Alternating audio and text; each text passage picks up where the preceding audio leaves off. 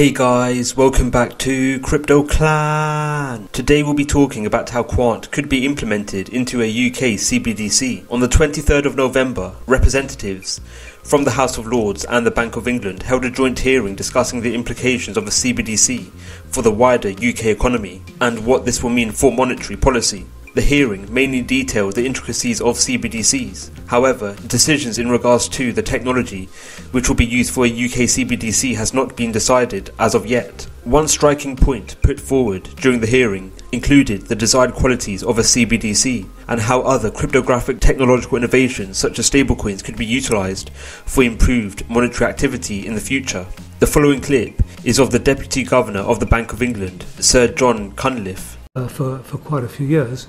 And the third, which we're exploring internationally as well, is the extent to which CBDC and stablecoin, which would use completely different payment rails, could be used to uh, improve uh, retail. And the, the, international work is kind of working on all of them. And I think um, my guess is the answer is going to be a mix of upgrading some of the existing technologies, using some of the opportunities of the newer ones that are just coming in to place and actually developing some of the ones that are on the horizon, which are CBDC. But there's a lot we can do in international payments without CBDC. As stated by Cunliffe, the Bank of England is looking into implementing stablecoin innovations into future monetary activity. Quant Network is one of few DLT projects which have developed a stablecoin in view of future CBDC developments. Quant offers the multi-ledger token or MLT stablecoin, which has been developed to act as a means of enabling the creation of dedicated payment channels between CBDC networks of varying nations. The development of dedicated payment channels induced by Quant's MLT stablecoin will aid in providing transparency in payments, whereby MLTs will be used as the underbelly stablecoin in cross CBDC transactions. The provision of MLTs as a means of enabling the cross conversion of CBDCs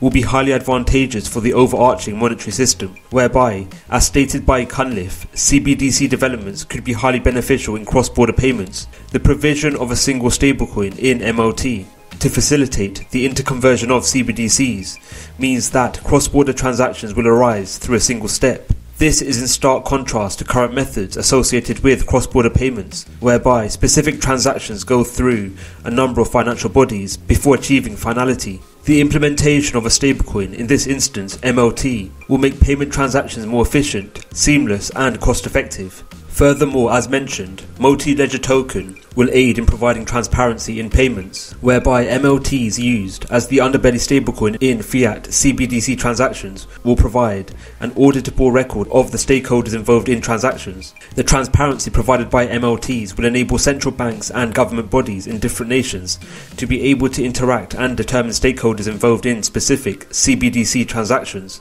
Quant's MLT's auditable nature, alongside the use of DLT technology when using CBDCs, will lead to the formation of a semi decentralized network, whereby government bodies will be able to determine transaction capacities associated with individuals when they utilize CBDCs. The auditable nature of CBDCs would be highly advantageous for central banks, especially when determining economic activity and the nature of transactions taking place. These factors may assist central banks in making better monetary decisions. Furthermore, as stated by Cunliffe, developments surrounding CBDCs will involve upgrades to existing technology and also using newer te- technology. Upgrades to existing technology may have been observed in the case of developments to the Bank of England's real time gross settlement or RTGS system, whereby the central bank is set to modernise and develop infrastructure mechanisms which will see RTGS being compatible with blockchain technology. The Bank of England's RTGS system lies at the heart of UK payments whereby the Bank of England's RTGS system settles payments amounting to £600 billion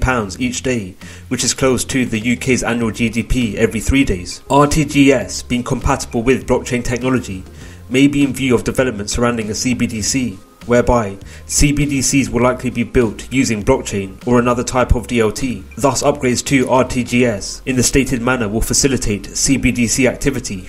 Developments surrounding newer innovations as stated by Cunliffe may be in view of the direct utility and implementation of Quant's overledger technology. Quant's overledger, which is protected by a number of patents, is able to facilitate interoperability with legacy as well as DLT systems. Overledger's ability to create gateways between networks of varying backgrounds will provide the potential to seamlessly exchange datasets, in, this case CBDCs, between ordinarily inoperable networks. This quality could be highly attractive, especially due to national CBDCs expected to be built on differing DLT platforms. Apparent inoperability between DLTs, which CBDCs will actively utilize, will be overcome through the utility of Overledger. Overledger will also provide the potential to connect future CBDC networks with legacy payment infrastructure, namely infrastructure associated with payment systems linked to banks. The leveraging of Overledger in this instance will lead to payment systems being validated and will bring a smooth transition from legacy to future CBDC RTGS infrastructure.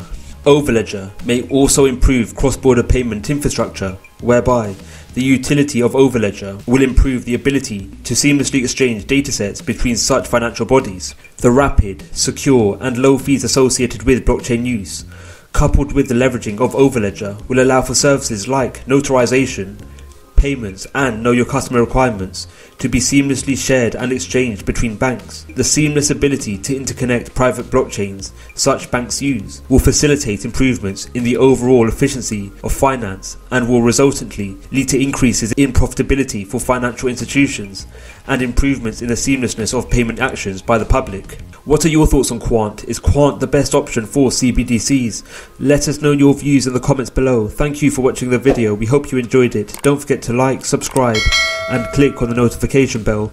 Let us know your views in the comments below. Thank you for watching and we'll see you in the next video.